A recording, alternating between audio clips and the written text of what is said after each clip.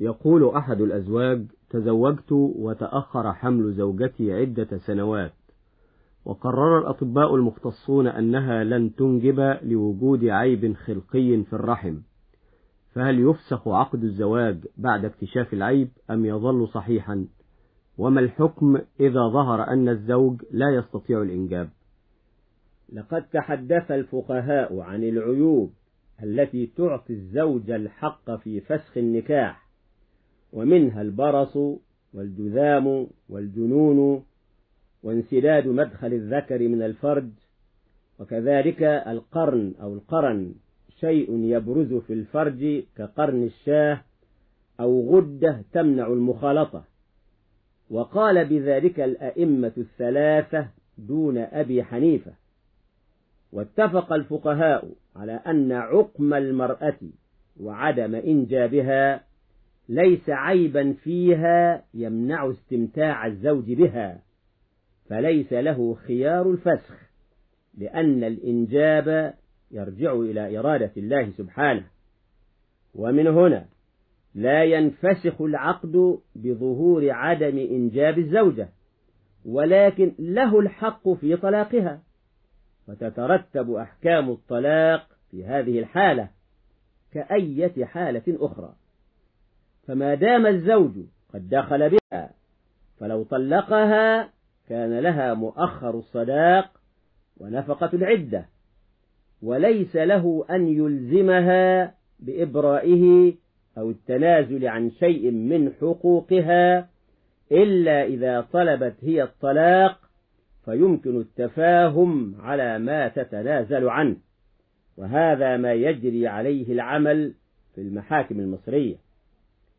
وإذا ظهر أن بالزوج عيبا يمنع الإنجاب كأن كان مجبوبا أي مقطوع الذكر أو عنينا غير قادر على الجماع لضعف خلقي أو لكبر السن مثلا أو كان خصيا أي مقطوع الخصيتين فللزوجة أن ترفع الأمر إلى القضاء لطلب التفريق بينه وبينها.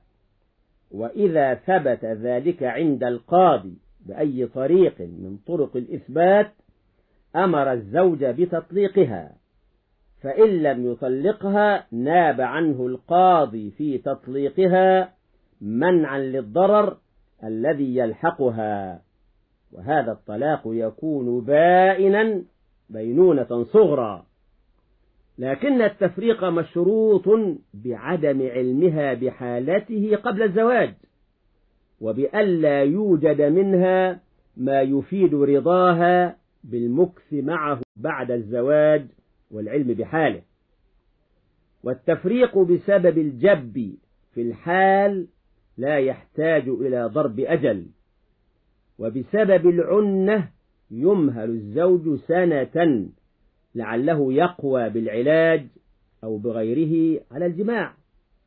وبسبب الخصاء يمهل الزوج سنة.